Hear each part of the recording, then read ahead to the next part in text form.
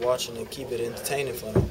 So, um, you know, we just got to go out there and have fun with it. I know you guys are in the midst of the game and the battle, but the fact that you know you dropped a new policy today, no more boosters, and you know people that shouldn't be on the sidelines being on the sidelines.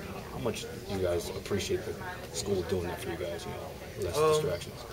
It is less distractions, but it's nothing that we ever really paid attention to.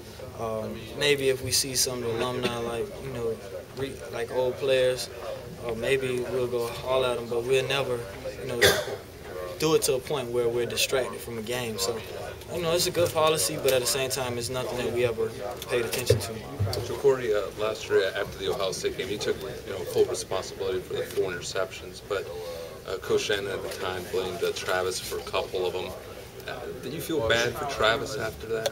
Uh, yeah, I feel bad for Travis because I'm the quarterback. I'm the one that delivered the ball. So whether it's his fault, whether it's the win or something, it's still my fault. And I take full responsibility no matter what. That's my job to get him the ball and deliver it to him the right way. And I didn't get that done. How did you feel like he reacted to that? Because You know, getting out it like that it must have been tough for him. Yeah, he he he was he took it pretty tough. Um, me and him talked about it. I didn't know that that was said when Coach Shannon said the statement, but um, that's the past, and now we're going into this game and we're ready to play. Leroy, you've said many times that you, you're at your best when you can have fun, when you're mm-hmm. loose, when you're not feeling pressure or worries or any of that.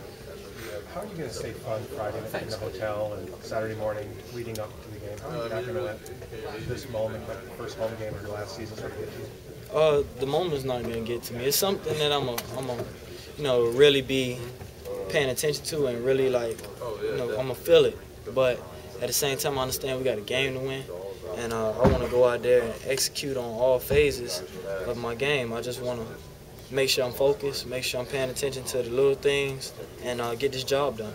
With both programs having off-the-field problems, do you feel that maybe some of the luster has washed off this game a little bit?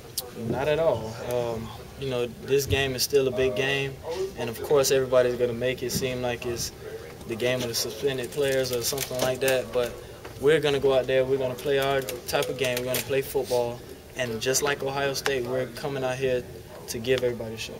Did you know? How does the way that you, you get ready for games change? You talked last month about understanding defenses more. Are you watching more tape? Is there any difference in how you prepare for games this year compared to last year?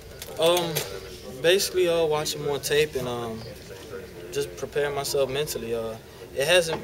It's nothing that I'm really uh, that I haven't seen, so I'm able to go out there and just you know look at certain things and be able to you know run the offense the way it is. From Last question, guys. From a mental standpoint, do you just picture different things that could happen in the game mentally? But I mean, is that something that's different? I feel like I don't know the answer to that question when I'm on the field and when I see the things because they could easily run different stuff rather than what you've seen on film.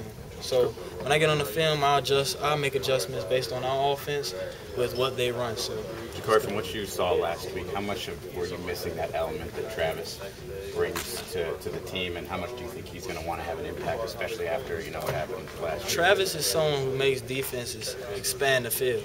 So they, if Travis is on the field, people tend to drop deeper or they want to double cover him and then leave someone else open. So when those things like that happen, that's when you got to take advantage of them and um, just find the holes, find the weaknesses, and that's where you can get Travis. Travis impact doesn't have to be just catching the ball or getting reverses or whatever it is. He could just make sure that he runs everything full speed and to me, he could just run a vertical every play, and he'd be a major impact in the game. So you think he'll okay, be thanks, additionally guys. motivated? You guys get the camera set up yes, there sir.